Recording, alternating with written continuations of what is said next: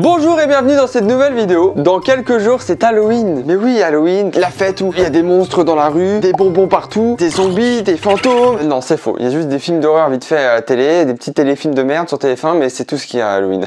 Personne va au port dire Bonjour, des bonbons ou un sort Personne fait ça. Bref, Halloween n'est pas forcément une fête que je porte dans mon cœur de ouf. Genre, c'est pas Noël non plus. Genre, Noël, c'est incroyable, mais Halloween, bon, personnellement, je m'en fous. Sauf que je me suis dit, c'est le bon moment pour vous parler d'un truc qui m'est arrivé à la Redbox. Vous le savez peut-être pas, mais ça fait 4 ans que je travaille à la Redbox. Et bah en 4 ans, il s'est passé des petits trucs chelous. On va pas se mentir. En tant que monteur, je reste beaucoup euh, la nuit faire du montage. Je préfère monter la nuit, mais de base, si je restais la nuit, c'est parce que bah, le taf demandait plus de taf que du 9h-18h quoi. Et du coup, très souvent, je suis resté la nuit à la Redbox. Tout seul. Croyez-moi, à la Redbox, être tout seul, c'est un mauvais bail. Vous teaser vite fait un peu, j'ai fui à un moment la Redbox. À un moment, j'avais tellement peur, c'était tellement bizarre ce qui se passait que je suis parti de la Redbox apeuré. Genre, j'étais en mode non, mais c'est bon, on arrête là pour ce soir. Je rentre chez moi, vraiment, je peux pas rester là. Genre, vraiment, il s'est passé des trucs trop chelous. Je le sais d'avance, vous allez me prendre pour un fou. Vous allez me prendre pour un malade. Vous allez me dire, ouais, t'es complètement con, tout est rationnel, il y a forcément des explications et tout. Et à ça, je suis d'accord. je suis d'accord, mais quand tu vis la chose sur le moment, croyez-moi, bah ça fait un peu peur. Bref, générique, premier jingle, première histoire, c'est parti.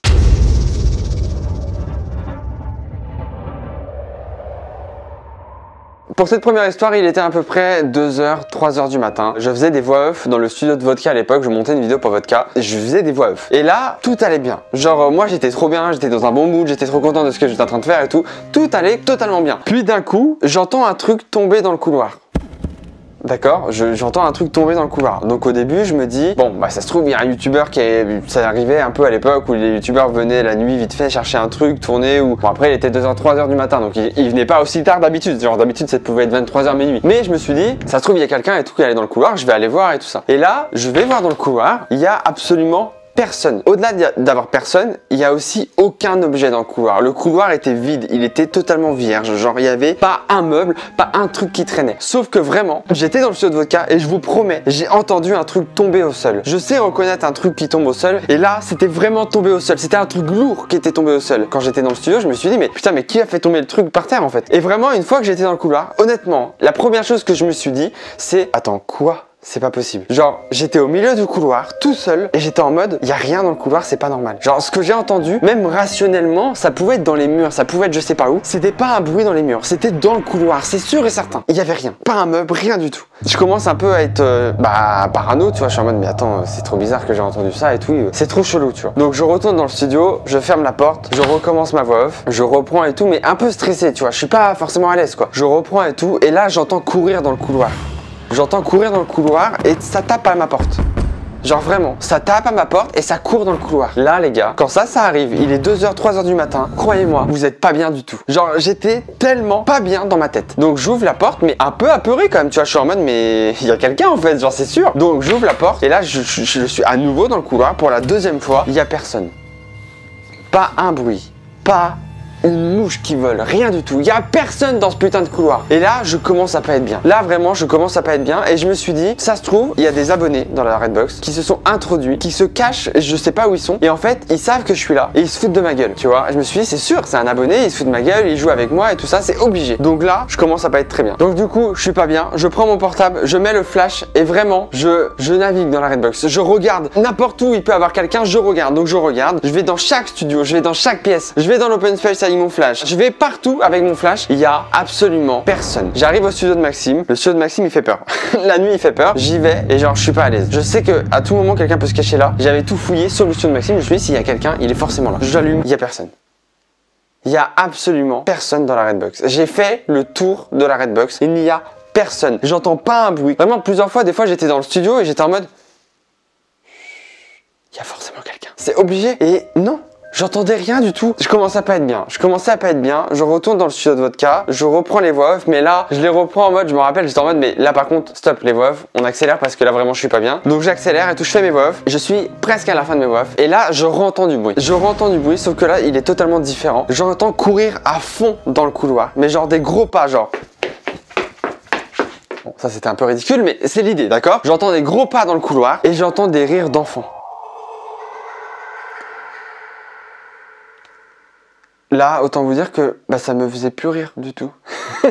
ça me faisait plus de tout rire. J'entends des rires d'enfants et des pas courir dans le couloir. Je suis pas bien. Mais vraiment, je suis pas bien du tout. Du coup, je sors du studio, je regarde, je regarde partout. Il y a personne. Vraiment, il y a personne. Vous savez quoi, la voix je l'ai jamais fini ce soir-là. Je l'ai jamais fini. J'ai tout coupé. L'ordi, tout ça, tout coupé. Je retourne dans l'open space. Je m'assois sur mon, sur mon, sur mon siège. Je fais mon montage et là, je, je me sens pas bien. Je me sens comme si j'étais oppressé. Je, je me sens vraiment pas bien. Comme s'il y avait quelqu'un derrière moi qui appuyait sur mes épaules. Si je me sens lourd et oppressé en fait. Mais ça, je pense que c'est psychologique et que mon corps se défend comme ça, tu vois. Genre ma tête, c'est psychologique de ouf. Mais je me sens dans cet état-là, tu vois. Et là, vraiment, j'essaye de reprendre le montage comme si de rien n'était. Sauf que là, j'entends à nouveau des, des bruits autour de moi. J'entends des bruits. Alors oui, ça peut être le bruit des murs, etc. Mais j'entends des bruits qui viennent du couloir. C'est vraiment du couloir que j'ai entendu du bruit. Encore. Et là, vraiment, j'ai pas cherché à comprendre. Je me suis pas dit, bon allez, c'est dans ta tête, Chris. J'ai éteint mon Mac. Je pars de la Redbox. Il est 4h du matin, 3h30 du matin. Je pars de la Redbox. J'arrive sur le, parking de, de, la Redbox. Il fait noir total. Je suis pas à l'aise. Je rentre dans ma voiture, je ferme ma voiture à la clé et tout. Et vraiment, je pars le plus vite possible d'ici. Genre, j'étais tellement mal dans ma tête. Genre, je me sentais fatigué, comme si on avait aspiré mon énergie. C'était vraiment horrible. C'était vraiment horrible. Le lendemain, je reviens à la Redbox. J'explique un peu tout ce qui m'est arrivé, etc.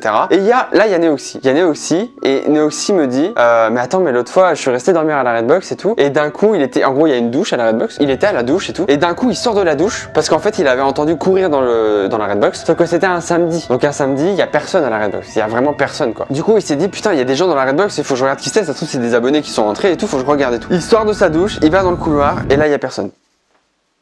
Et quand il m'a raconté ça le lendemain, j'étais en mode mais Valentin, c'est pas normal ce qu'on vit, nous, depuis quelques jours là.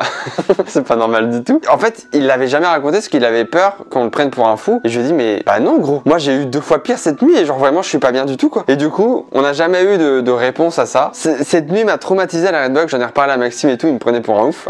c'est normal. Ils m'ont tous pris pour des oufs là-dedans, là. Genre vraiment, cette nuit m'a totalement traumatisé. Et genre, c'est effrayant de se dire que toi, t'entends ce genre de choses. T'es persuadé dans ta tête que t'as entendu ce que t'as entendu. Que j'étais persuadé qu'il y a un objet qui était tombé et tout persuadé de tout ça et c'est horrible de se dire que personne va te croire et juste ils vont te prendre pour un ouf, tu vois. Genre même vous là derrière votre écran, 100% vous me prenez pour un ouf, c'est sûr et certain. Sauf que non, vraiment pas. Genre vraiment, je vous promets, je, je saurais pas expliquer comment ça s'est passé, mais ça s'est passé, vraiment. Bref, voilà, c'était la première histoire. Il s'est passé d'autres trucs. Histoire suivante.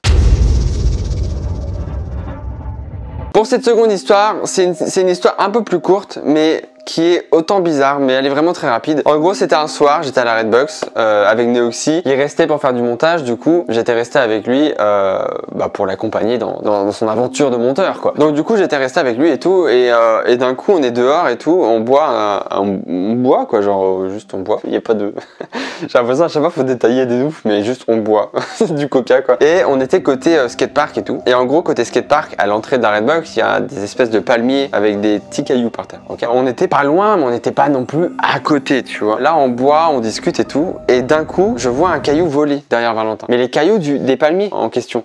C'est pas normal déjà ça. Mais je vois un caillou voler, mais dans ma tête je me dis, je suis fatigué, c'est moi, euh, je suis parano, tu vois, genre c'est pas vraiment un caillou, c'est juste un moustique qui vient de passer et tout. Il y a rien de, de, malade, tu vois, genre il y a rien de fou, il y a pas de un truc incroyable. Puis on continue de parler et tout, et cinq minutes plus tard, on, on reçoit un caillou.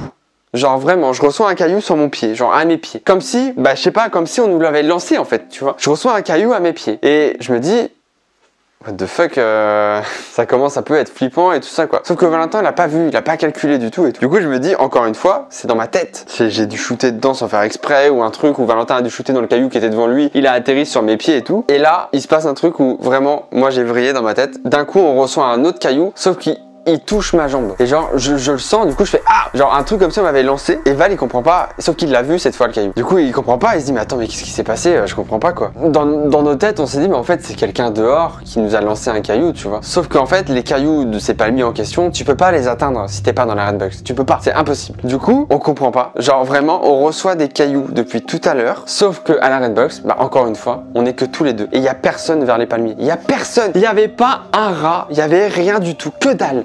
Juste on est rentré après, hein, je vais pas vous le cacher, on est rentré très vite dans la Redbox, on s'est enfermé. Et genre vraiment on était en mode mais comment c'est possible quoi? Sachant que ça, c'est arrivé après tous les trucs chelous qui m'est arrivé avant euh, que je vous ai déjà raconté. Et vraiment, moi, dans ma tête, j'étais parano, j'étais en mode, mais il y a vraiment un truc chelou à la Redbox, genre c'est trop bizarre, c'est trop bizarre. Donc voilà, c'était l'histoire des cailloux. C'était très rapide. Je vous l'ai dit, elle était très rapide cette histoire. Mais c'est juste que, bah, pour le coup, j'essaye d'être rationnel. Sauf que là, je vois pas de rationalité. Genre vraiment, je sais pas si ça se dit, mais je n'arrive pas à me dire, c'est quelqu'un qui nous a ça, c'est machin, c'est. Il y avait rien du tout autour de nous pour que ça nous lance des cailloux. Genre vraiment, j'ai pas de réponse à ça. J'en ai pas. Ok, pour cette troisième histoire, j'ai pas vécu un truc plus flippant que ça, parce que ça vraiment, ça fait peur. Genre vraiment, c'était horrible. C'était horrible. Nous sommes un soir, je montais le Redbox Trip. Je crois que c'est l'épisode 2 ou... Ouais, c'est l'épisode 2, je crois. Je monte l'épisode 2 de- du Redbox Trip saison 1. Tout va bien, quoi. Redbox Trip, c'était intense et tout. Ça allait. Genre, je finissais tard, mais ça va, quoi. Il était à peu près 23h30 à la Redbox, donc je, je suis tout seul à la Redbox, et là, il y a Mastu qui arrive, et qui me dit, ouais, euh, je passe juste chercher un truc et tout, et, euh, et je, joue, je joue vite fait du piano, tout ça, et, et je m'en vais, quoi. Donc je l'entends, il joue du piano et tout, on discute un peu, il prend son truc, ça dure euh, 20 minutes, il s'en va. Je suis à nouveau tout seul à la Redbox. Il y a plus Mastu, il y a plus personne, d'accord? Donc moi je reprends mon montage et tout, il y a pas de souci. Les heures passent, les heures passent, 2h30 du matin. 2h30 du matin, il se passe un truc horrible, c'est que je commence à entendre du bruit. À nouveau, comme la, nuit d'avant. Je commence à nouveau à entendre du bruit. Donc là, je commence à être parano, à me dire bon bah Chris, à un moment ressaisis-toi quoi, il y a rien dans cette Redbox, il y a que dalle, il y a vraiment y a rien du tout, c'est dans ta tête. Arrête de croire qu'il y a des gens quoi. Sauf que vraiment j'entends, c'est pas courir, c'est j'entends marcher dans le couloir. C'est toujours dans le couloir. J'entends marcher, j'entends marcher, j'entends marcher. Et je me dis, c'est dans ma tête, je suis fatigué. J'ai eu les autres trucs qui s'est passé avant, du coup, je flippe. Donc en fait, bah, dès qu'il y a un truc, je suis parano, je suis en mode, ouais, c'est,